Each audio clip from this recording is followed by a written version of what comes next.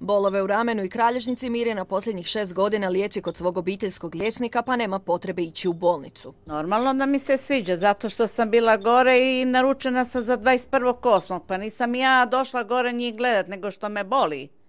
Gledajte, ja trebam pomoć, ja trebam da me se liječi, a ne da idem od vrata do vrata i na kraju ništa. No svi pacijenti morat će se naviknuti na određena čekanja jer se od 1. srpnja u ambulantama obiteljskih liječnika više neće moći provoditi fizikalna terapija za akutne bolove. Ja sam baš išao na, da se najavi na ultrazvuk, trebao sam čekati 9 mjeseci. Za ova, ovakav ultrazvuk? Da, za ovakav ultrazvuk. A ovdje to obavite u koliko? U roku 10 dana. Ljuti me, jako. I mi više oboljevamo što gore čekamo i što čekamo na pregled.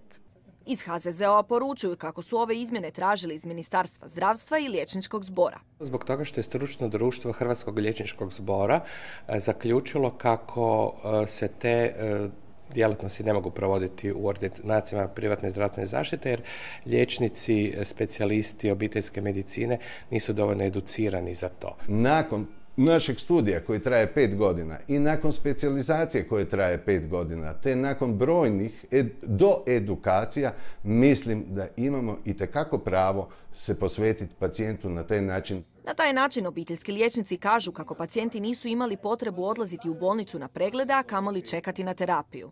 Na taj način smo jako dobro kupirali bol kod pacijenta, skratili smo trajanje bolovanja pacijenta, smanjili smo upućivanje, a samim tim iskratili liste čekanja. Od sada će ovaj uređaj samo skupljati prašinu. Uređaj sam puno platio, nažalost izgleda nikad ga neću moći izamortizirati, znači negdje će mi tu stajati u uglu. Dok će u bolnicama zasigurno ovakvih uređaja biti premalo kako bi zadovoljili sve potrebe pacijenata koji će nakon 1. srpnja biti puno više.